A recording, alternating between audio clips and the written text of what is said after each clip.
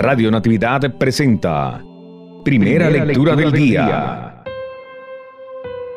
Del segundo libro de Samuel, capítulo 11, versos 1 al 4, 5 al 10 y 13 al 17.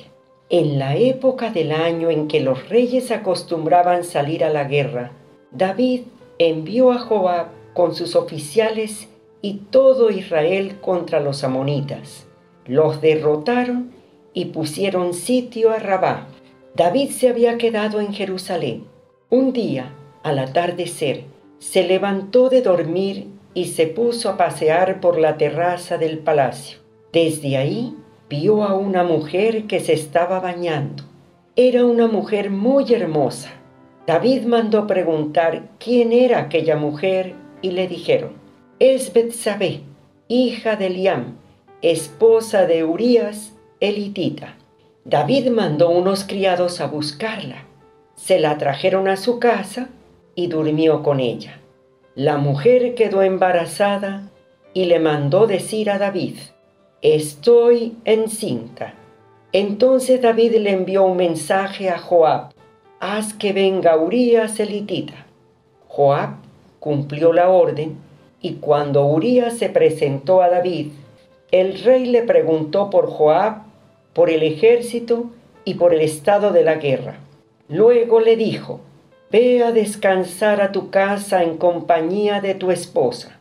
Salió Urías del palacio de David y éste le mandó un regalo. Pero Urías se quedó a dormir junto a la puerta del palacio del rey con los demás servidores de su señor y no fue a su casa. Le avisaron a David. Urías no fue a su casa.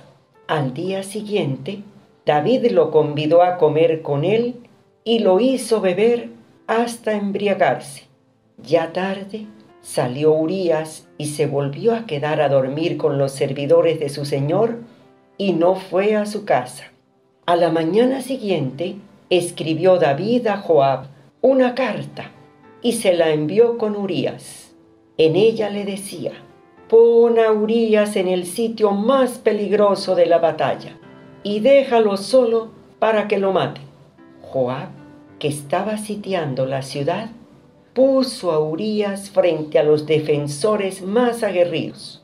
Los sitiados hicieron una salida contra Joab y murieron algunos del ejército de David, entre ellos Urías elitita. Palabra de Dios. Te alabamos, Señor. Esta lectura, amigos, del segundo libro de Samuel del Antiguo Testamento en el capítulo 11, sobre el pecado de David, es para orarla, para leerla y tomar una enseñanza. Fijémonos que detrás de un pecado va otro, hasta que terminó David mandando matar a Urias, el esposo de Betsabé. Amigos, qué bueno es revisar, cada uno revisemos nuestra vida, de un pecado pequeño, de una mirada. Fíjense todo lo que ha pasado por una mirada.